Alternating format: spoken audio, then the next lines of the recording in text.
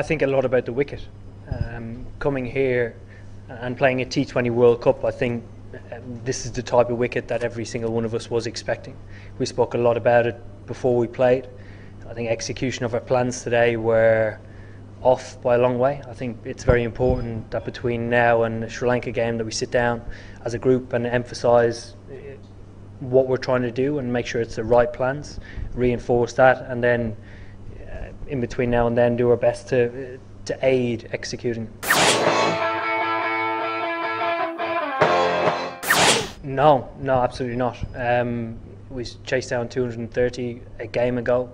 I think it was simply a matter of not adapting. Um, I think we've been practicing similar things uh, that we needed today, but we actually just didn't produce it. No, I don't think so. I think when you play day games in India, a lot of the IPLs I've played in, and a lot of the cricket I've played in here, um, suggest that batting first a, during a day game and getting a good score on the board favours as opposed to chasing on the lights. Um, I know the, get, the game against Sri Lanka is a night game, so it might differ between now and then. I know the girls are playing a little bit here between now and then, so we might get an inkling.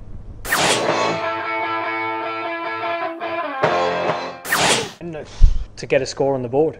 Um, I came off, sort of uh, had a loo break in between, sort of five, six down, and um, thought about what sort of score we could get on the board if we could push 120, 125, and bowl brilliantly. I thought we were in with a chance.